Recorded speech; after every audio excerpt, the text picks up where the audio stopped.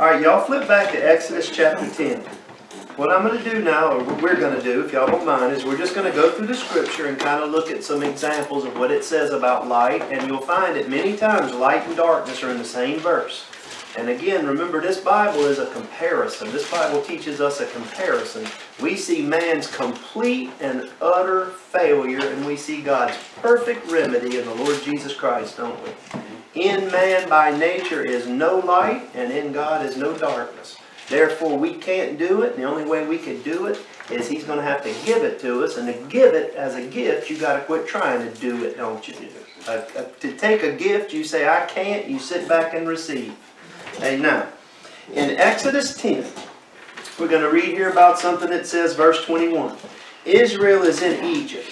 It says, The Lord said unto Moses, Stretch out thine hand toward heaven, and there, uh, that there may be darkness over the land of Egypt, even darkness which may be felt. Can y'all imagine that? I've never been, but I had a friend that uh, uh, Miss Slater told me one time. She said she went in a cave somewhere on some little trip or whatever, you know, when he's and said the lights went out while they were in that cave. And she told me, she said, literally you could feel the darkness. I've never been anywhere like that, but I, believe, you know, it's thick darkness, right? It says, Moses stretched forth his hand toward heaven, and there was thick darkness in all the land of Egypt three days. You ever notice everything God does? He says it first, doesn't he? What verse say it in? Uh, Exodus 10, 22. Now verse 23. They saw not one another. This is in Egypt. Neither rose any from his place for three days. But all the children of Israel had light in their dwellings. You mean to tell me God spoke and there was darkness on one group and light on another? And wait, God said something and one group went into pitch black and the other one's in the light. Now that's the example of the Word of God. Today we've got the Word of God and for people that believe on the Lord Jesus Christ, the light starts to shine and it shines more and more, doesn't it? But what about those that trust their own righteousness? This book's darkness to them. They can memorize it and not know what it's talking about. You know, I heard someone one time that had met, a, they had a, uh, a holiness preacher named Dake. He wrote a, an annotated, he did all kind of stuff, but he memorized the New Testament. He had an incredible memory. He, he died here about 25 years ago, I think. But anyway, I heard a man one time that knew he was in Pensacola at one of these revivals and went to meet him. And he said it was fascinating. He said, sure enough, the man memorized the New Testament. He said he could just say to him, you know, 1 Corinthians 7.20, boom, would have God spit it out. And he said that just fascinated him. He said he got up to leave and before he left, he said, sir, I want to ask you one more question. He said, yeah. He said, is there anything, any sin that you could do that would cause you to lose your salvation? And y'all know what that man said that had memorized the Bible? He said, oh yeah. If I sin, if I backslide and sin, and I don't go to the Lord and, and confess it and beg Him for forgiveness, then yeah, I'll go to hell. Now, folks, that's what most people believe today. What kind of salvation is that? Had that man memorized the Bible, did he know what it was talking about? You know there's no one worse, and I know this from experience, no one worse to show you the truth than the one that thinks he's got the light. He's walking in darkness. Hold your hand in Exodus. We'll come back. We'll go over to Romans 2.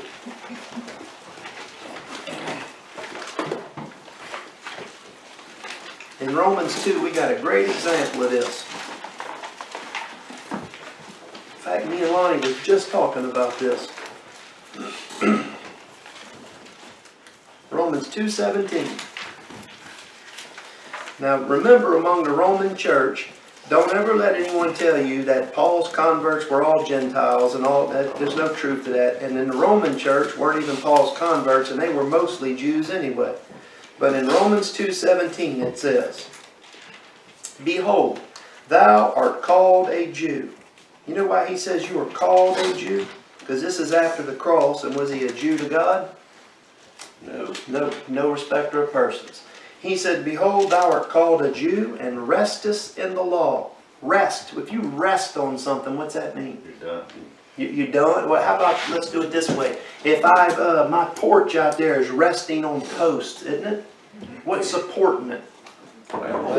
The foundation. To rest on something means you're hanging your hat on it, right? This is the thing that's holding you up. What did the Jew think was their calling card for God? Oh, say, excuse me, sir, are you a part of God's chosen people? And he'd say, oh, I'm Abraham's seed. We've got the law. He might not have any idea what it says, but he said that's us, right? Mm-hmm. Restest in the law and makest thy boast of God, and knowest his will, and approveth the things that are more excellent, being instructed out of the law, and art confident that thou thyself are a guide of the blind, a light of them which are in darkness. Can y'all think of anyone worse today to teach you the Old Testament scriptures than an unbelieving Jew? I'm not knocking Jews, folks. Look, I, I did this exact same thing, just in a different way. But the Bible says that the Jew that doesn't believe on the Lord Jesus Christ has got a problem. What's his problem?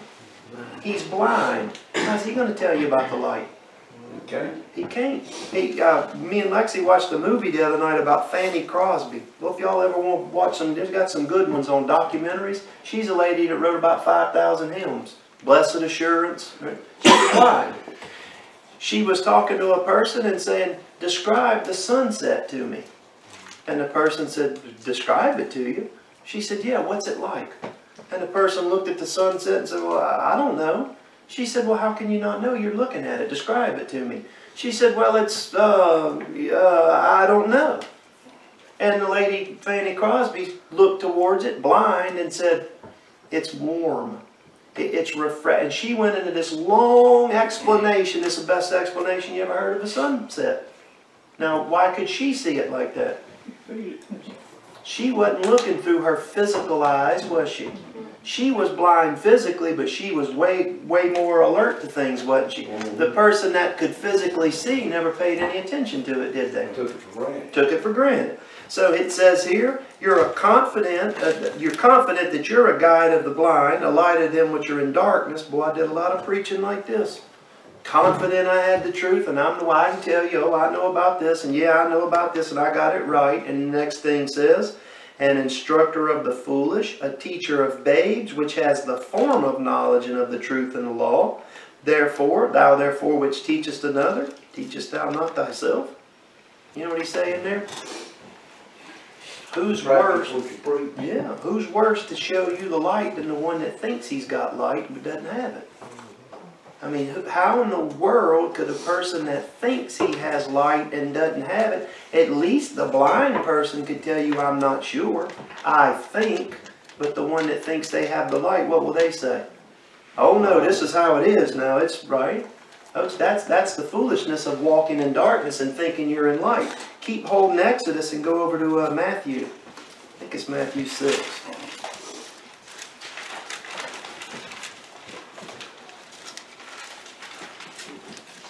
Yeah. Matthew 6:22.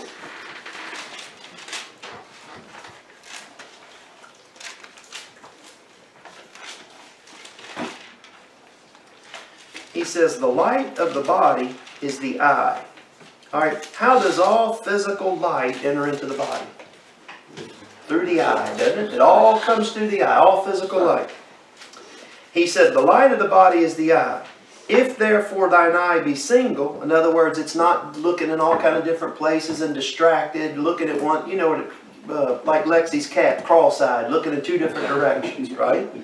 He said, if uh, if uh, if the uh, therefore thine eye be single, thy whole body shall be full of light. But if thine eye be evil, thy whole body shall be full of darkness. If therefore the light that is in thee be darkness, how great is that darkness? What's that mean? A person that thinks they've got the truth, can you convince them that they don't? Are they willing to hear anything? No. Are they willing to even accept that they might be wrong? Then what is that supposed light to them?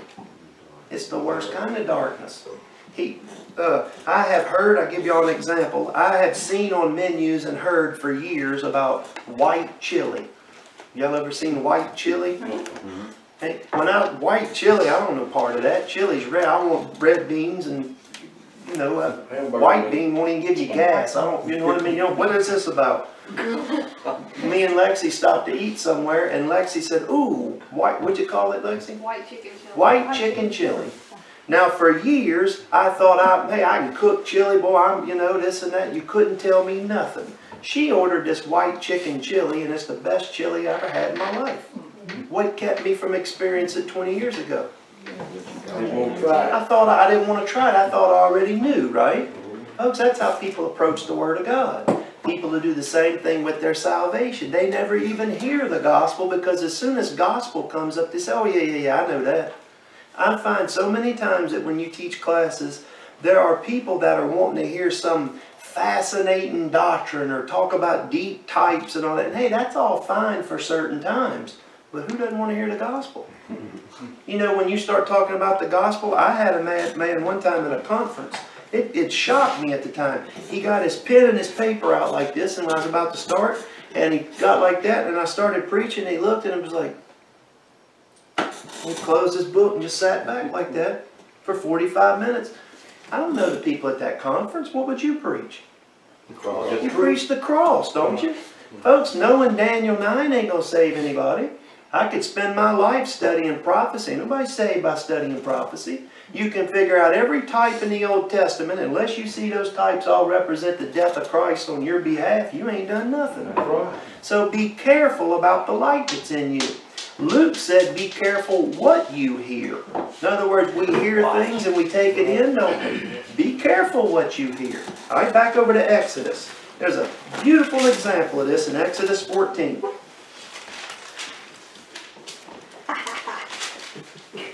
Is that you?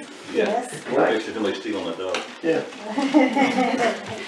All right, Exodus 14. God has come and he's going to lead these people out of darkness, isn't he? You know what's great? God gave them a cloud to lead them, didn't he? And don't, it wasn't a cloud. Look, me and you think clouds like cloud in the sky, don't we? It wasn't a cumulonimbus cloud. well, it wasn't, but in our minds, that's how we see it. As soon as I read this, I immediately think about a picture I saw in my little catechism thing when I was little. It was those people coming out of there, a whole bunch of them carrying all this stuff, and there was a little, like a thunderstorm cloud in front of them. All right, when they translated the Bible, how when you, if you were, uh, uh, say this, if you had been out there in Egypt and this thing appears in the sky, what would you call it?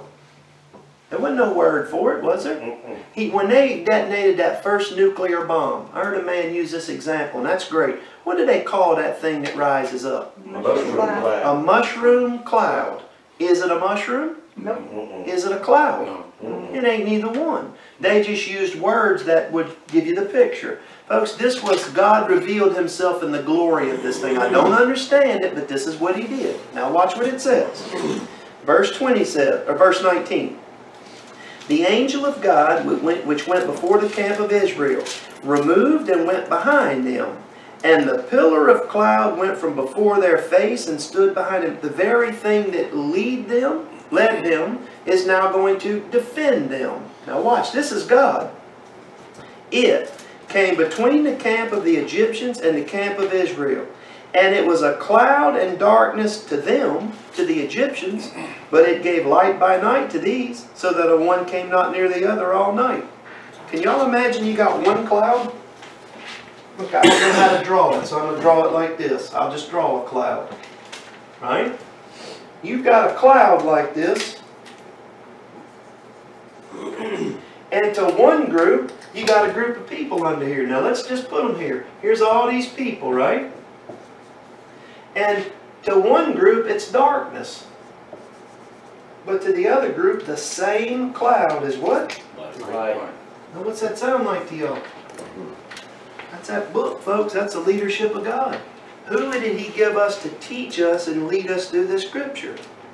The Holy Spirit. Without the leadership of the Holy Spirit, you know what this book will be? Darkness. You can memorize it. You won't know what it's talking about.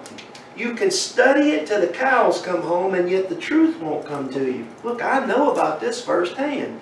You, you can learn other languages. You can learn this book in other languages. And guess what? That'll just confuse you more. Until the Holy Spirit shows you the truth of this, it'll be darkness unto you. Uh, Isaiah prophesied, he said there, that there was a time was coming for Israel. He said they're drunk, but they ain't drunk on wine. Drunk on religion. They were drunk on religion. Guess what he said their drunkenness led them to do? What's every drunk do? Falls down and stumbles, don't they? Israel stumbled because they had a book that they couldn't read. They said the, the priest there would be like a drunk and they'd bring the book to him and say, read this book to me. And the priest would say, I can't read it. I don't understand it. Folks, I had this literally happen to me, literally. I went to a priest with a question and he couldn't answer it. Come back the second time and he told me, if you don't put that book away, it'll drive you crazy. He understood something. That book was darkness to him, wasn't it? Why was that book such darkness to him? Because he, he's lost and had that false light. He had a light of a system in there, didn't he? Mhm. So then the exact same light can be to one person light, to another person darkness. Now flip over to Psalm. Go to Psalm 6.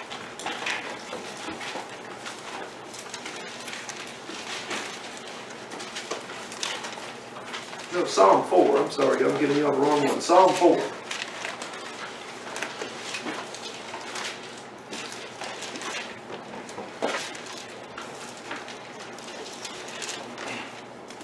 We got another old word coming up here. I know I'm always telling y'all what you ought to study, and I don't mean it to sound that way, but I don't know if y'all are like me. There'll be times when you sit down and just, one of the hardest things is what to teach on. What, hey, what, what did you teach? You know what I mean? Just come in. So you sit down, and you pray, and you wait, you pray, and wait. But y'all look up the word countenance and study that one and look at all the things. There's some great things about it. Now in Psalm 4, verse, uh, uh, verse 5, he says, Offer the sacrifices of righteousness and put your trust in the Lord. How in the world does he have a sacrifice of righteousness tied to trust in the Lord? That's what the Lord wanted. The Lord gave Israel back here the law, which had all them sacrifices for sin in it, and what were they for? To show them sin means death. Folks, every, every day of their life, animals were bleeding and dying, weren't they? Yep. And for what reason? That's what sin brings, death. And what did Israel do with those, the death of those animals? They turned it into glory. Yep. Instead of going home, no, this poor animal's got to die again because I've done this, they come walking in with the animal. Look at this one. Lord, I got a 15 pounder for you today. And they come in like that, right? So did they turn that which should have been light into darkness? Yep. Well, you come over here in the Bible, in the New Testament, it says God didn't even want those sacrifices. It said he had no delight in all of that. What did it say he wanted? The sacrifice of praise. More than anything in this world, you know what that book tells me God wants? To be believed. He wants me and you to believe him. What more dishonorable thing could we do to God the Father than to not believe him? What did he say? Believe on the Lord Jesus Christ and thou shalt be saved. Now everybody in the world knows John 3.16, don't we? Okay? For God so loved the world that he gave his only begotten Son, that whosoever should believe in him should not perish but have everlasting life. Well, can you say that verse like this? I'll just use Chris. Can Chris, can you in your mind take that verse and say, you know, I look at that verse and I have such assurance because I'm whosoever. For God so loved Chris Corsentino that God gave his only son for Chris Corsentino, and if Chris Corsentino believes, Chris Corsentino shall be saved. Now, ain't that what the verse says? Mhm. Are you whosoever? All you got to do is plug your name in there. See, is this me or am I fighting this? Am I still struggling to believe it? If you are, go to the Lord with it. Say, Lord, I've got a little, uh, I'm trying to believe this and my, help me, Lord. Help me see this. Go to Him in sincerity and ask Him. Now, He says in the next verse, There be many that say, Who will show us any good? Lord, lift thou up the light of thy countenance upon us. What is a countenance? It's your look. It's, it's many times translated face, your countenance. Hey, look around, okay, I, there'd be time, yesterday, I'll give you an example. I looked over at Lexi and I said, oh, you hungry? She said, what? I said, you hungry? what do you mean? I said, we're gonna get something to. I didn't say I wanted to eat now. What am I, what's happening? I saw in her countenance she's hungry. Y'all seen them Snicker commercials? That's Lexi, right? But I, you learn that, and that's I got. Look, I do the same thing about other stuff. I'm not picking on her. I'm just saying, in her countenance, I could see something, right? Does our face show something? Where does Paul say the gospel shines? In the face of Jesus Christ. That don't mean me and you got to figure out what his face looked like. We know him by this book. You know what his face looks like? Mercy and kindness and sacrifice, grace. Thank you, Chris. Love. Someone says, What does Jesus Christ look like? Well, let me draw you a picture. He looks like this right here. That's what Jesus Christ looks like. And love. And how would you and I know that except God revealed himself in the face of Jesus Christ? So when he says God's countenance is going to be our light, what did God do? What is the light? Christ. And what did he say back here? Let there be light. That's like God said, let there be a Messiah, and it started to take place. Now, in order for there to be a need for Christ, what else was necessary? Darkness. People needed to be redeemed. Folks, God's almighty. If he didn't want man to fall, he just stuck his hand down there and stopped it. He could have not created him in the first place. Man was created to be redeemed so that you and I would need a Redeemer, so that our Redeemer would receive all glory for all time. Does that make sense? Mm-hmm. Now imagine one of us not wanting to believe on Him. You're not only denying the one that died for you, you're not serving the only purpose which you, you was even created.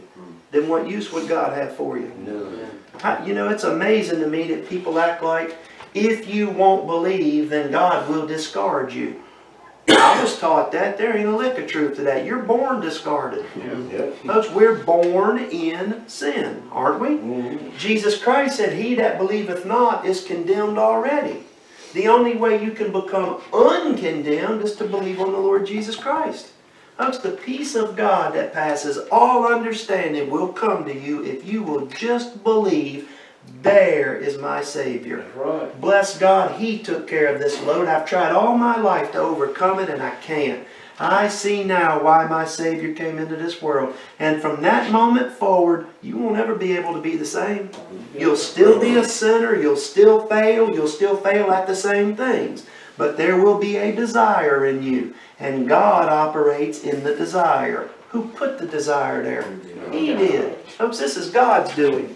Now go over to, uh, uh, let's see. Uh, go to Job 37. There's a great one over there. Joe? Job, yep, right before Psalms is Job 37. Thought it was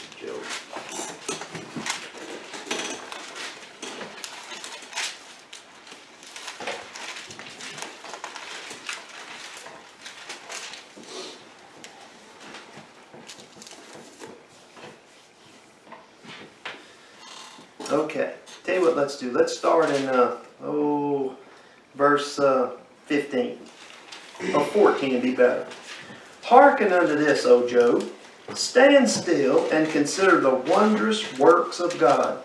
What is the most wondrous work of God Almighty? Creation. Cross. Creation is second, cross is first. Why was creation created? For the cross. The cross is first. Folks, that's the most, you ain't never met anybody that would die for their enemy, have you? Me and you wouldn't die for our enemy. We'd gladly watch him die. Y'all know you had someone that had treated you horrible all your life?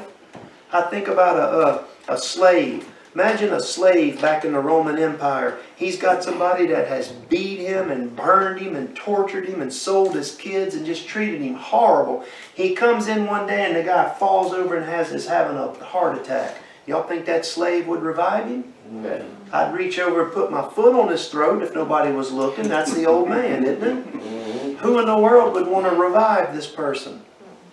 Who would die so that he could live? I sure wouldn't. Would you? Mhm. Now let's make it worse. Who would give your only son to die so that he could live? Now we talk about the love of Jesus Christ and dying for us, but what did God the Father do? He gave his son for you. Y'all think about love. You've never known love like this. Bible says he did it. Now it says in verse uh, uh, 15, Dost thou know when God disposed them, the works, and caused the light of his cloud to shine? The light of his cloud? Well, y'all reckon this man knew about that? Alright, now next it says, Dost thou know the balancings of the clouds, the wondrous works of him which in perfect, is perfect in knowledge, how thy garments are warm when he quieteth the earth by the south wind? Hast thou with him spread out the sky, which is strong, and as a molten looking glass? In other words, you're going to tell me about uh, what you think God's doing without God having revealed anything to you. You're going to describe God to me. Where were you when God created these things? Now, how is it that you and I can talk about them and know that we could? We got the book, don't we? Next, he says, verse 19. Teach us what we shall say unto him, for we cannot order our speech by reason of darkness. You know what that verse says? The natural man receiveth not the things of God. They're foolishness unto him, neither can he know them because they're spiritually discerned. In other words, one more time, teach us what we shall say unto him. We can't order our speech. Which one of me which one of us in a lost condition could say something to God to, to prompt him to do anything? He already did what he's going to do for you, folks. He sent his son. Now it says next verse, Shall it be told him that I speak? If a, a man speak, surely he shall be swallowed up. And now men see not the bright light which is in the clouds, but the wind passeth and cleanseth them. Now this is just nature he's using, but look what God did. Did God create all things?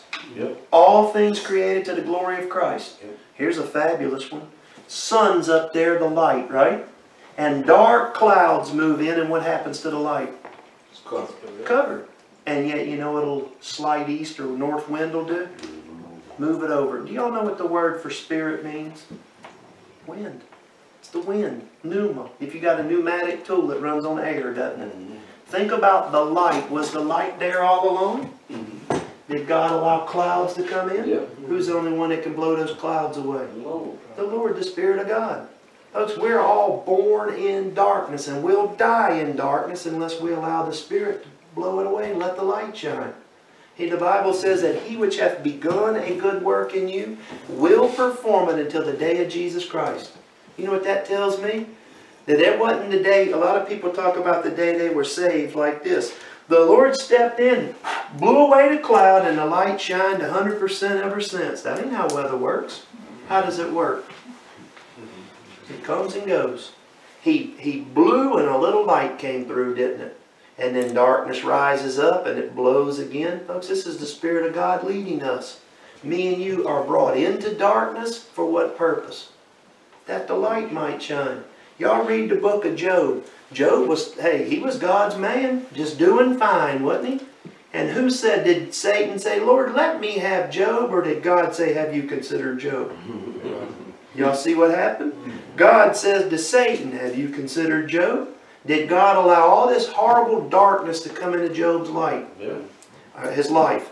At the end of his life, what happened? God made it shine. And what happened? What did the light shine at the end? Double. He got double portion, didn't he? he uh, me and Lonnie was talking a minute ago about the uh, the Fanny Crosby lady I was just telling y'all about. She she was blind from a baby, and she wrote a bunch of beautiful uh, songs. And back then, in the in the middle 1800s, they called them popular songs. Like I guess that's where pop music comes from. Just little old songs that today you'd sing like nursery rhyme songs. And she said they played them in bar rooms and all. Um, like y'all know just that kind of music, right?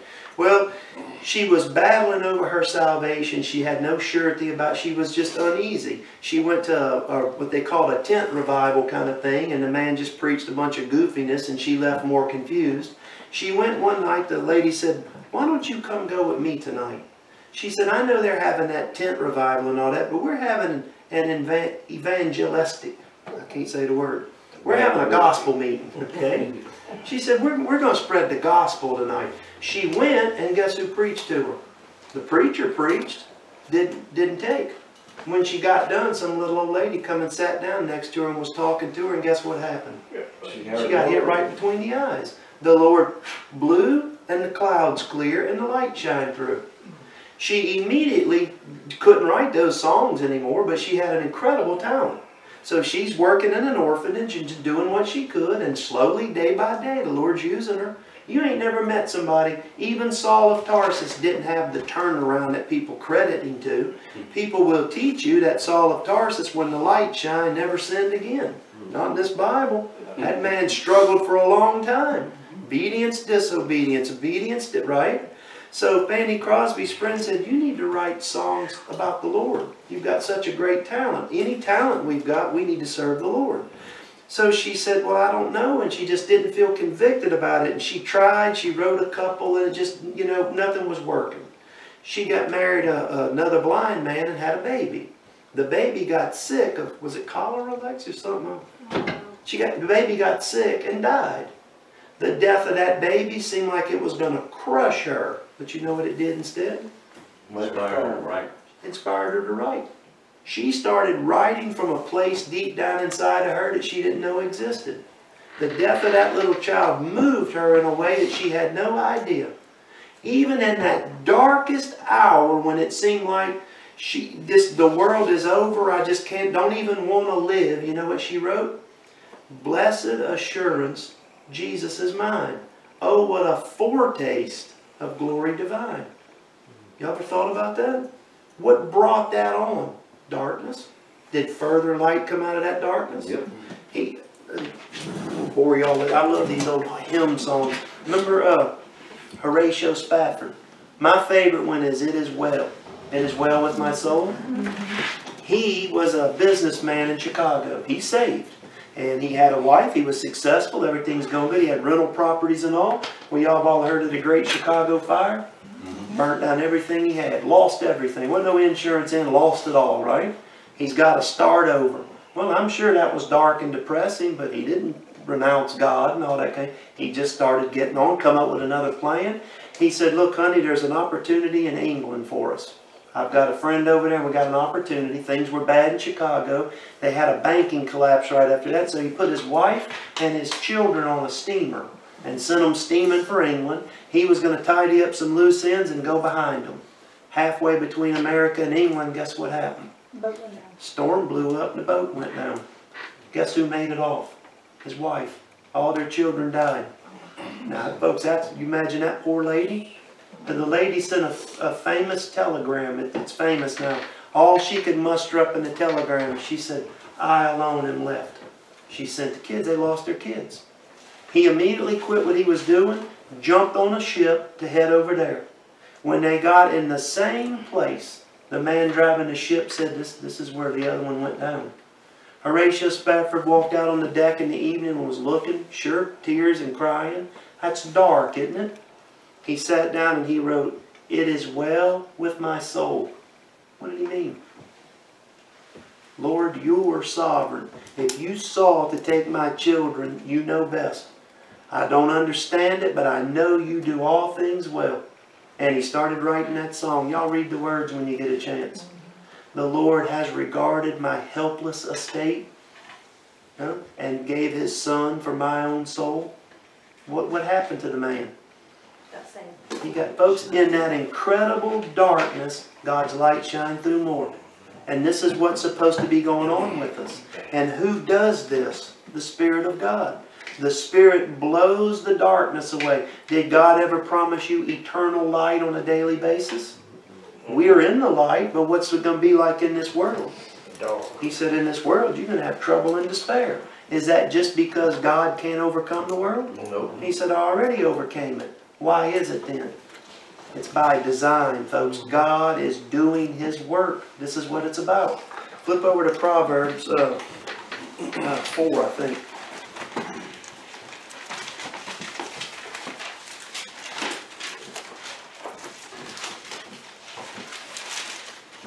David said that he forever wanted to walk, walk in the light of God's countenance. Can y'all picture David when the Lord was, when he was walking with the Lord, just in the brightness shining on him? Y'all know when you get saved, David also wrote, he said, in any sense, Lord, in a time of despair, he wrote, Give me back that same feeling I had the day I trusted you. You remember what it was like when you saw that your sins were paid for? Yep. All of a sudden, it's just, you can't describe it, can you? But that feeling doesn't last. Someone tells you, oh, then you're not really saved. Just ignore that foolishness. David said, bring that back, Lord. Why? Because we're in this world of darkness, and what comes over us? The clouds. And who do we have to depend on to blow them away? Lord. The Lord. What's the only way you and I can access the Spirit of God? Right in Right here in this book. Folks, walk in this book and you're walking with the Lord. Trust Him.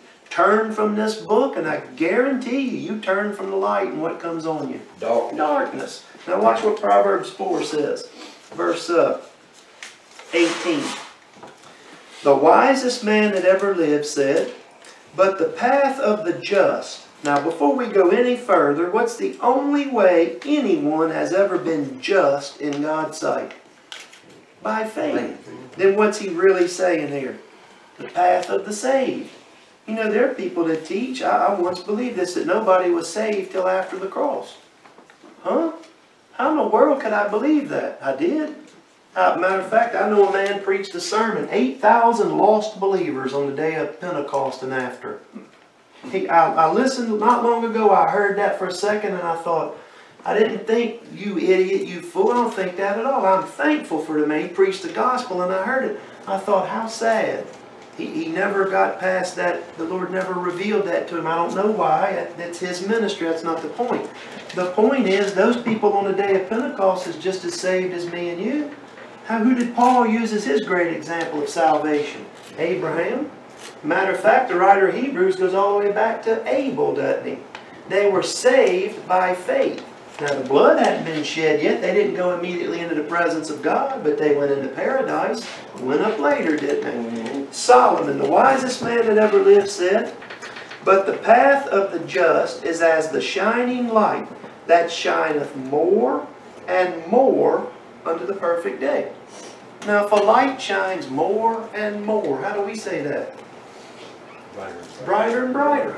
He, Chris gave Lexi a flashlight, and it's got two settings on it. It's got all these LED lights in it. Uh, And I gotta see this thing every so often. I think I, if I doze off, I think I woke up on Round Island out there with the lighthouse because she's out there looking for that cat. That thing will shine like nothing you've ever seen out there. But you know what? One night, she hit that second switch. It'll shine brighter. It shines more and more, doesn't it? What is a, the life of a saved person? What is it supposed to be like?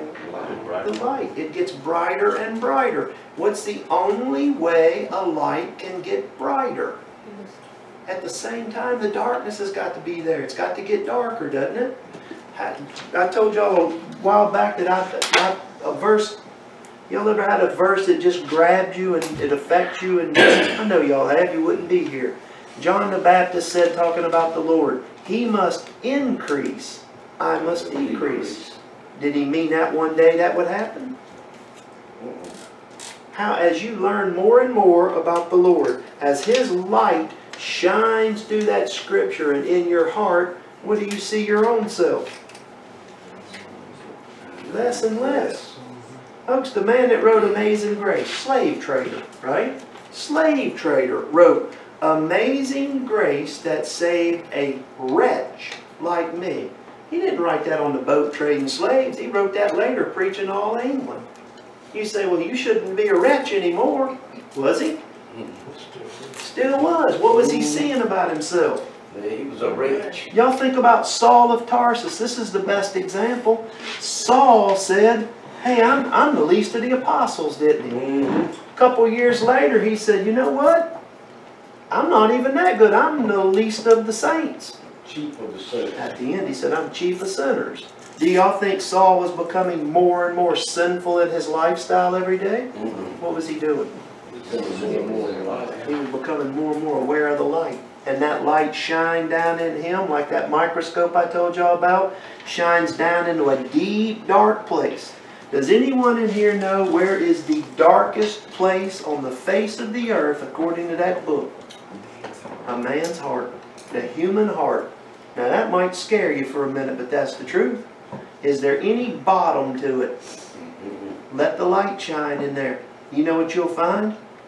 Hey, y'all ever, uh, somebody, oh, was Maddie was telling me, hey, you know, you, a lot of times clean, you're in a hurry, you don't move stuff. What happens when you spring clean, as they say?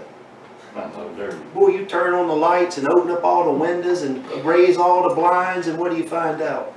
Man, this is worse than I thought, isn't it? He, Maddie said, well, clean this and clean that, and I said, but hey, I moved this, this, and this, and it was horrible, right? Well, it'd been there all along. What did she do? Turn the light on. She shined the light on it. See, as the light shines, the filth comes out, doesn't it? Mhm. I can remember when I first got saved, the fact of me not wanting to study and preferring to watch a TV show, that didn't bother me. It didn't bother me at all. I thought, hey, I'm just watching a TV show. I ain't hurting anybody. Now, when I, if I feel like I don't want to study or want to do it, it deep down, that it, it, it does. You say, well, that you're getting out of hand. Well, I hope I'm getting out of hand. I hope I'm getting out of my hands anyway. Hope I'm getting into the hand of the Lord. And I'm not trying to tell y'all I'm making some big leaps and bounds. No, not at all. To whom much is given, much is expected. So as we learn the word, I don't mean that also like I've been given much, I mean this. As more is given, what happens? More is expected. More is expected, but at the same time, guess what? Less is expected. How do I mean that? What do you, when you get saved, what do you expect to do in your flesh? You think you're gonna clean? What did Paul try and do? Keep the law. Folks, Paul said, I'm gonna walk in the law now. And what did he say the law did to him? Slew him. That's after salvation. Slew him. Folks, the law slews me daily. First commandment says, I'm the Lord thy God. Thou shalt have no other gods before me. Stop. Just stop. I don't want to read anymore. Thou shalt have no other gods before me. Someone would say, Are you an idolater? Well, I don't have any uh, Buddhas, but I got other idols. Food. What will I put before God? That's an idol. Y'all want to know the worst idol I've got in my life? You're looking at it. Flesh. You, I put the flesh before the things of God. I'm not that, folks. That ought not be, should it? No. What did Jesus Christ do with his flesh? He didn't put it before nothing, did he? He sacrificed it. And again, someone would say, oh, wait a minute. Now you're telling me you want to be like Jesus Christ with all my heart. I want to be like him. I know I never will be, but that don't stop me from wanting to be. And again, someone would say, well, this is getting out of control. No, No, this is what Paul told us. Y'all flip over to Philippians chapter 2 to let the light shine more and more unto a brighter day means just exactly what it says. In Philippians 2, verse 5.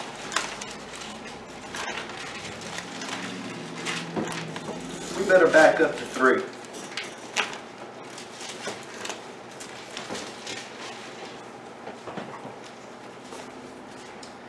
Let nothing be done through strife or vainglory.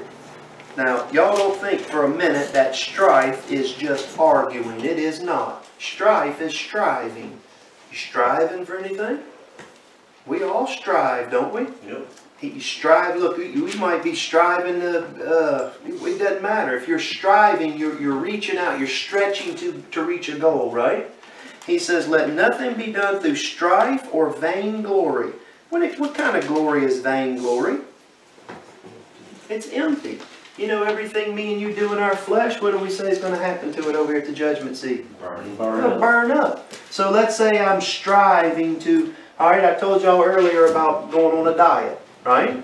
Now, does the Bible teach me that I ought to be moderate in what I'm eating? Yeah, Yeah. right? But what if I'm doing it in order that I can look better to so-and-so? Mm-hmm. That's shallow and vain, right? But what if I'm doing it in order that I don't have a heart attack and leave Lexi here to fend for herself? You see the difference? What if I say this? Well, Lord, I don't really want to have a heart attack and come to see you. I'd rather come to see you without having to go through the heart attack. But if you're going to leave me here on this earth, I'd rather be able to preach the gospel, right? I would rather be able to preach the gospel than to be sick. Does that make sense? Mm-hmm. Now, y'all think about do me and you really think that way all the time? Mm-hmm. Me and Wayne were talking earlier about we just have all our lives ate what we wanted. We all do that, don't we? He, and I don't, I don't know what that, exactly how far that goes, but you and I do things that we wanna do, and then later the effects are felt, and me and you start to think about the effects, don't we? Anything that you and I do that's not to the will of God, whose will is it to? It's ours, it's self-will. Now, that doesn't mean that we're not gonna do it. It means that God's trying to make us aware of it, isn't he? He, uh, trying to think of another, okay? I, I, I- Wayne never, I use Wayne. Let's say Wayne's doing something and he's doing it for the benefit of his children, his, his family, his grandchildren, right? Then is Wayne doing that in order that he would obtain something or that someone else would profit? Someone else. someone else. Now that's an easy example. I use Wayne because he's about the most giving, kind person I know. Wayne's always been that way. Watch what it says here and then use this. Let nothing be done through strife or vainglory, but in lowliness of mind let each esteem other better than themselves. What's that mean? You treat people better than you treat yourself. Yeah. Had y'all know anybody like that? I knew, I know some Yeah, folks like that. I'm like telling y'all about one Wayne, I know he's like that. Now watch the next verse. Look not every man on his own things, but every man also on the things of others. I had someone tell me one time that that meant, well, I'm just trying to get what God said, he's got it, and I'm looking on it. That what he's saying. He's saying, put the other man before yourself. Now the next verse.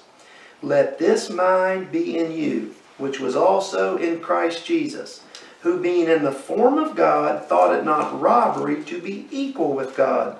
That's the mind we're supposed to have? What's, what's have this mind mean? That attitude, right? Okay, the same, we'll, we'll just stay with the same example. Wayne sacrifices something for Amanda's sake, right? Amanda just told me a while ago, she said, I'm gonna need to miss work this day and this day because I can go. Well, what's Amanda doing back? She's giving back. Y'all see what this produces, what it causes? Now, what causes Amanda to want to give up pay to go with Wayne? Love for one. Love. Do y'all think that's just an old fleshly love? No. No, folks, that, that's not, a, uh, you say, well, this is just normal family stuff, this happens. Yeah, it happens, but that ain't what's happening here. It ain't what's happening at all. I know what's happening because I can see it and I can read about it in the book. What's causing a person to want to think this way?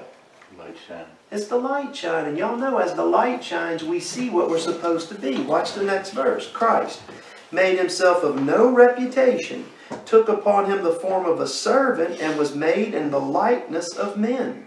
And being found in fashion as a man, he humbled himself and became obedient unto death, even the death of the cross.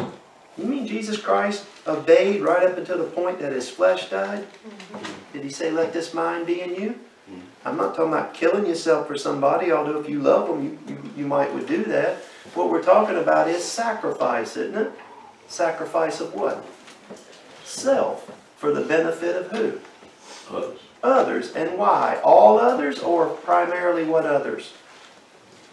For your brothers and sisters in Christ. Folks, a husband and a wife can have a relationship, and it can be the best on earth, but it ain't approached the kind they can have when they're both in Christ. A father and a daughter, same thing. A son and his dad, same thing. Those relationships that are in Christ go beyond because who begins to work? Christ does. And is it all going to happen there at one time? Boom, mm-hmm. this is all just done? No. There's going to be darkness and failings and falling backs and tripping and fumbling. And in all your fumbling and bumbling and stumbling, know that God said in this book, He still accepts you in what you did, not because of what you did, but who does He see you in? In Christ. Mm-hmm. Now, if you've never trusted Jesus Christ died for your sins, this ain't available to you. You don't have it. You can try and imitate it, but you won't. You can try and make it look like you've got it, but those that have it will see through it. They know the difference. Okay? All right, y'all got any questions about that? Okay, we'll probably do darkness next time. All right, thank you.